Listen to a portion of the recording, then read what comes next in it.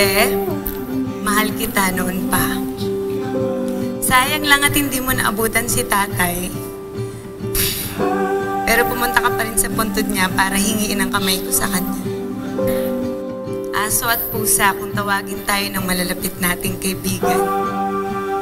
Eight years in the making. Ngayon, nine years na. Hindi na. Sa lahat-lahat ng pinagdaanan natin, mas naging matatag, mas malapit tayo kay God. At si God ang magiging sentro ng ating bubuing pamilya.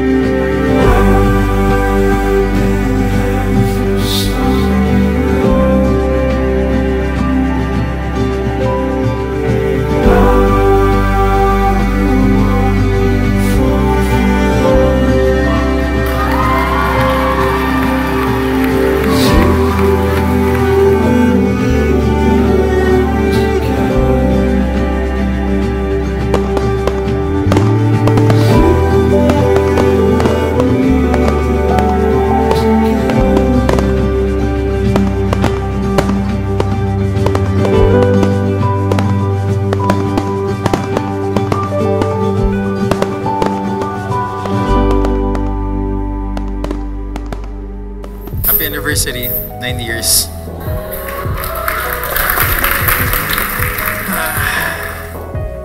We've been through a lot. A lot. Good times, bad times. Pero thank you pa din sa mga bad times kasi inayos niya ako, inayos niya tayo. Ah, mas, nag, mas naging malapit tayo kay God after ng trials na yun. You fall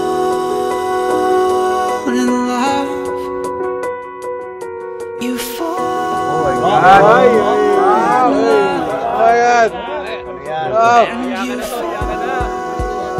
Be today will always be the best day of my life because it is our first day of as husband and wife. Love your man.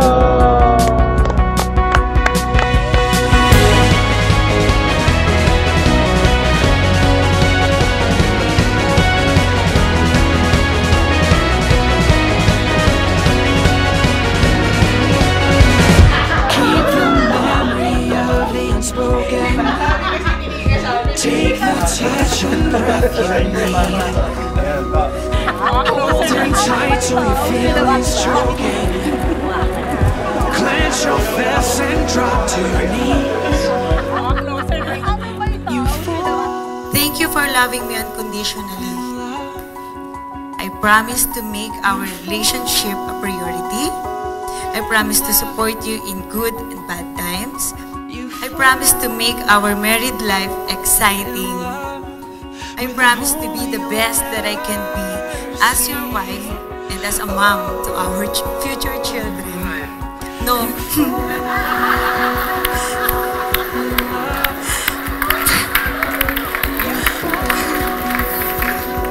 I promise to say I love you every morning and every night before we sleep.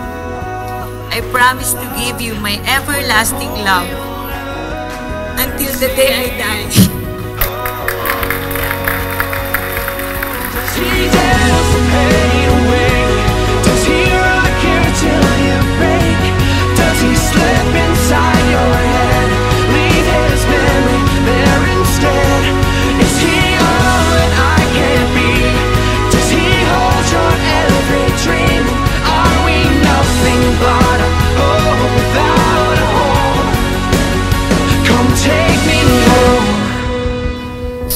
Thank you for not giving up on me.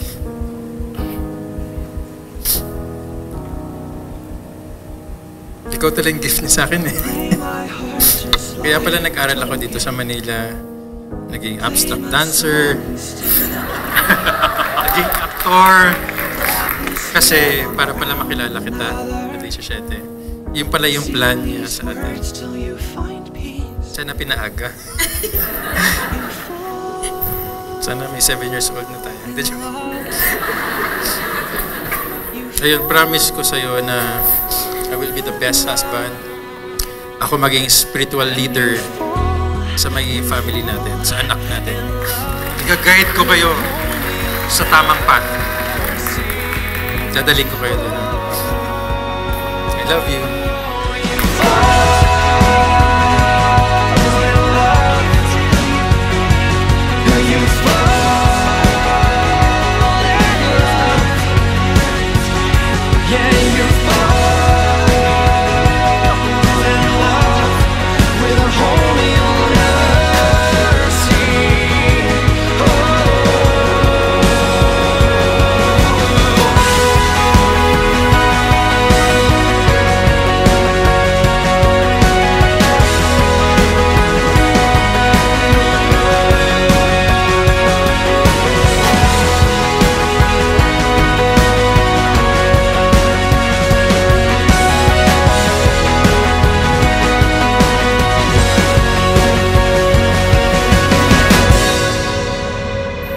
Licensed pastor of Victory Christian Fellowship of the Philippines, I now pronounce you husband and wife.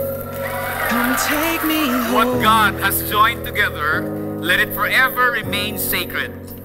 Because you are now husband home. and wife, the moment you've been waiting for, you may now kiss Take and embrace your bride. Come take me home.